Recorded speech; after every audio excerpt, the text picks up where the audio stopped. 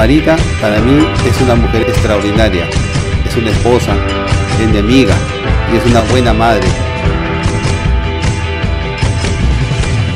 José Nicanor es una persona muy importante en mi vida. Él sabe lo mucho que significa para mí, al igual que nuestros hijos, hacemos una sola persona. En ella veo todo el cariño que profesa hacia mí y hacia mis hijos, Diego y Olenka. Es por eso que cada día la amo más.